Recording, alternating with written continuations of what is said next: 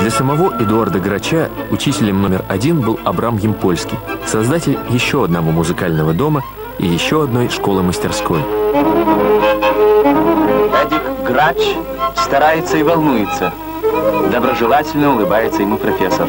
В этой улыбке чувствуется вся его воспитательная система. Он был немногословен, но удивительно феноменальная мимика. И вот мы чувствовали каждое, все, что он хочет сказать. Вот по его лицу было видно все – доволен или недоволен.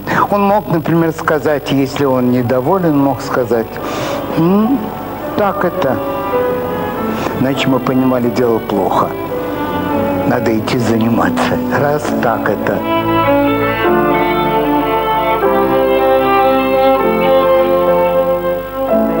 Абрамович занимался дома.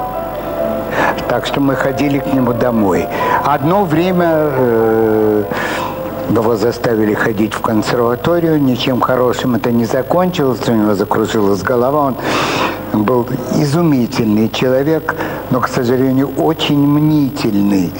И вот он почувствовал себя нехорошо и, так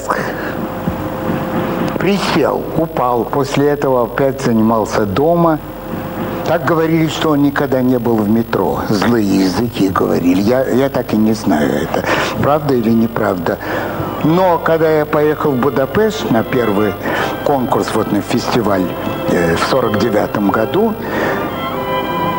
то он меня встречал на вокзале, когда я привез сюда первую премию.